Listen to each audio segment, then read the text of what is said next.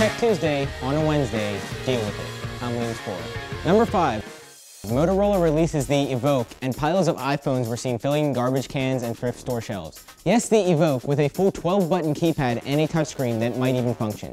iPhone and G1 users alike reported that they did not see the reason in keeping their old smartphones when the generic Moto OS was packaged right in with the phone. Number 4. Microsoft finally admits that Vista was a failure and that it had not been for the many features stolen from OS X 10, it wouldn't have even functioned. Microsoft felt safe in admitting this because their new I'm not cool enough for a Mac ads have provided so much income that they are no longer afraid of Apple's gaining power in the computer market. Number 3.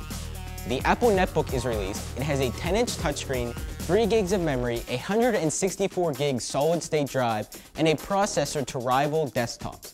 The netbook is a bit of an investment, running at the base price of $2,700. When asked why the new device was so expensive, Apple simply stated that it was a really small and advanced thing, so we need to get some of the money made off of it. Also, there are no tactile buttons on the netbook, they have all been integrated into a remote that must be used to function. However, the device will read all of your documents to you in a nearly understandable voice. Number 2.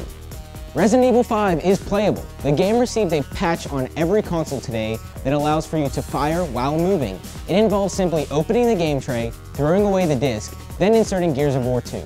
The patch then adds multiple extra characters and confusing plot lines which are all to be resolved and explained in Resident Evil 6. And number 1. OnLive works. It's not just some strange and completely theoretical game ideal.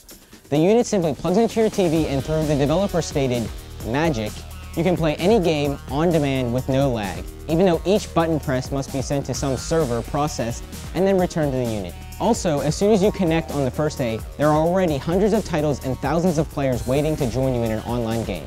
When asked about the science behind it, officials simply stated, well, it worked with two users at CES, why not 200,000? Has been Tech Tuesday. If you were confused, I would go look at my calendar. And until next week, I'm Liam Spore. Then, who knows who I may be.